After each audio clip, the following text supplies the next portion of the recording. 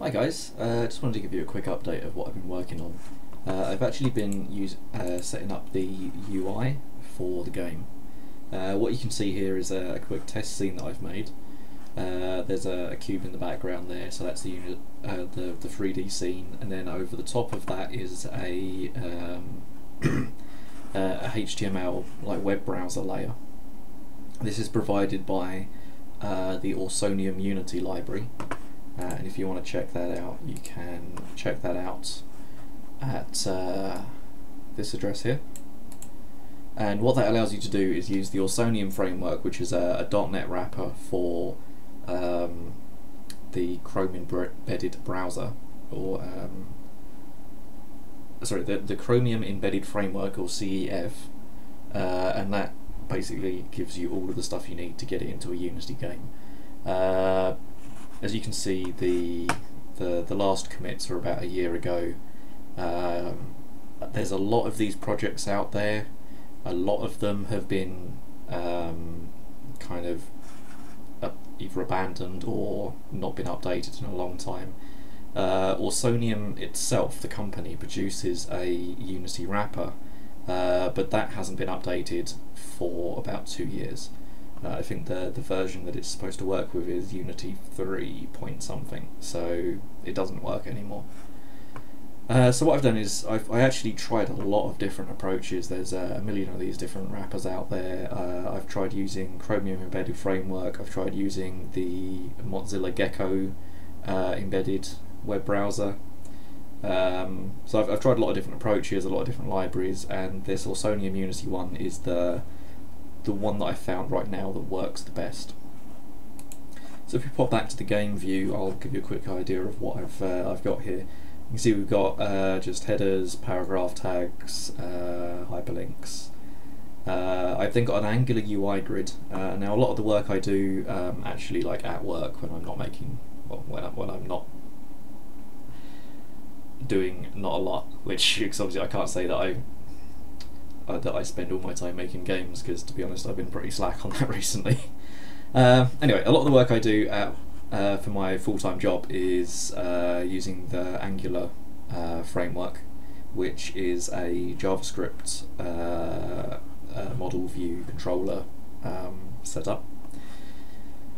And so what you can see is the, the, Angular UI grid is a component that you can get for that, which basically takes data and puts it into a spreadsheet. You can sort things by headers. There's a lot of really cool controls you can do in this, really cool customizations at the moment. This is just a basic example. Um, for the uh, the look and feel of it, I'm using Bootstrap with some custom CSS on top. Uh, as you can see here, this is just a Bootstrap rendered table, so this is just a, standard HTML table with the, the Bootstrap styling on top. Uh, next we've got a bootstrap panel which we'll use for movable windows, uh, dockable windows. Uh, again, paragraph text, all of the, the general bootstrap stuff that gives you the styling of your website. So I'm designing this like a website but through the uh, Awesomium Unity connector um, you can then pass uh, data backwards and forwards to JavaScript and between JavaScript and the game and back. Uh, then, you know, sort of different ideas for what the different size panels will look like, uh, and then a more complex panel with like more varied layout. So all of the UI I'm going to go over doing this. The reason that I'm doing this is as nice as the the new Unity UI um, tools are for, for Unity 5, they still lack a lot of stuff uh, particularly when it comes to doing tables of data, to doing um, sort of more complex layouts.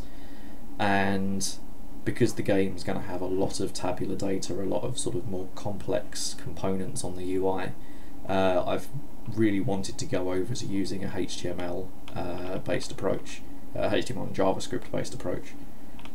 Uh, so this is yeah, this is where I'm at. Um, there's a few little problems that I'm currently working on um, that are possibly potential problems with the uh, Awesomium Unity library. Um, what we've uh, the main problem I've come across is uh, the web security. It uses the default Chrome security, so you can't uh, do cross-domain transfers Um, and from sort of a more technical thing, if you if you know anything about Angular, it pulls the templates in from other files. So the template for anything uh, apart from this table will come from a a separate HTML file which will provide the template. And what will happen there is you in the Angular code say give me this template it goes off and it loads it. Because this is running in its own little sandbox it doesn't have access to anything outside that. So what I'm uh, to, uh, it doesn't have access to anything outside the sandbox including looking up those templates and loading them in so what I need to do is actually modify the library a little bit and I'll probably post these back if it if it works out great I'll post this back to the uh, to the Awesomium Unity um, uh, GitHub as a, as a pull request uh, to be able to modify the levels of security.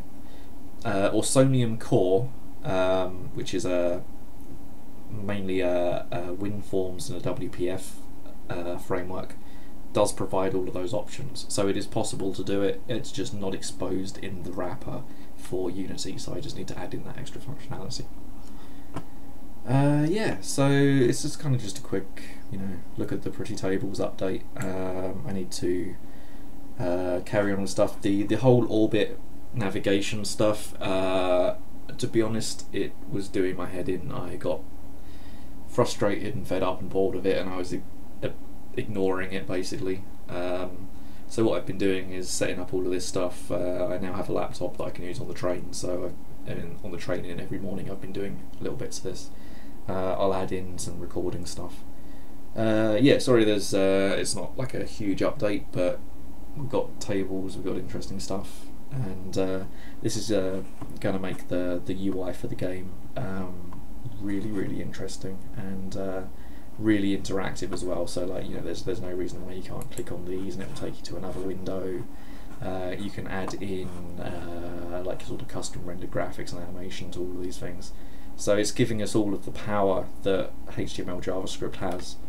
Um, and then it's loaded into a, a, window on the top. If I just stop the program, uh, what you can see here is a white plane. And if I just pop uh, over here, I'll show you the layout. Uh, we've got a camera, we've got this uh, prefab here, which is the web UI module, which is what I've called it. You can see I've got it in my prefab folder down here. That has uh, a plane with uh, a uh, it's got the mesh collider, it's got the mesh renderer, and it's got this Awesomium uh, Unity web texture, which is a a uh, controller provided by, or sorry, a component provided by the Awesomium library. Uh, I've also then used uh, just a, an unlit textured transparent shader to draw that on there. Uh, I do actually have a directional light on there, which now that it's unlit I probably don't need. It's probably adding extra overhead. And then I've got a, uh, a camera in that scene as well. So if I, if I grab that, this uh, you can see a camera, it's set up, the culling mask is UI only, so it only shows this grid. Uh, when it boots up it resizes the grid uh, if I grab that camera again, it will resize the, the, the mesh to fit the size of the screen. It then loads up Chrome, uh, Google Chrome in the background, and instead of showing it in a window, it takes it as a texture and places it onto the texture here. Uh, and then the Auson, uh, this Awesomium web texture also provides, um, if you toggle interactive on, it then also does collision detection between the the, the mouse and the, the plane and passes all of that back into the browser. So yeah, it's a really cool little bit of kit. Um, if, if you're interested in doing more complicated AIs, uh, sorry, more complicated UIs for your games, I would recommend it. It's uh, a little bit uh, buggy in that there's a few features, as I said, with the the web security and the the cross-domain loading um, is not implemented. Um, I'm going to try my best to implement that over the next couple of days, um, and uh, and if I get a good result for that, I'll post it back to the uh, as a pull request to the uh, to the, the, the the GitHub as it is. Um, if the project is dead, I, do have an issue open at the moment. If I don't get any response from that, what I'll do is I'll create a new GitHub, um, uh, a new GitHub uh, repository with my modifications to it, so at least people can download it and use it and play with it and contribute back. And obviously, I'll reference back to the existing one there. So yeah, uh, thank you very much for watching. Uh, not hugely action packed this time. Um, I'm to continue trying to get more videos out. Uh, the project's not dead; it's just going incredibly slow, which is uh, which is frustrating for me, as I imagine it's frustrating for everybody else. Uh, but it, it is what it is. Uh, I, you know, I don't want to. I don't want to like you know sort of people to think that I'm giving up on this or that I'm, I'm not interested in it anymore. It's definitely something that I'm actively working on whenever I get time to do so. Um, again, I would love your comments. I love everybody's feedback. Um, if you've got any ideas for the game, if you can, uh, if you have a, particularly for the UI, if you have any interesting ideas for the UI, I'd love to hear about it. Uh, hopefully the next video I'll have a, a, more fleshed out UI with all the menus, examples of the different panels for like managing the ships and managing colonies, that sort of stuff. Um, yeah, so until I see you next time, thank you very much for watching and I'll, uh, I'll see you in the next video. Awesome guys, rock on, bye.